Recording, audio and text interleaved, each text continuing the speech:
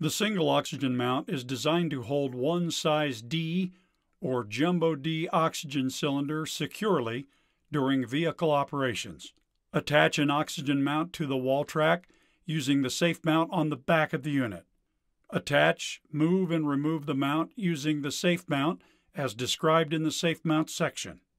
To secure a cylinder in the mount, place the bottom of the oxygen cylinder into the molded tray of the mount. Place the neck of the cylinder in the upper slot. Tighten the retention strap and secure the cam lock strap buckle.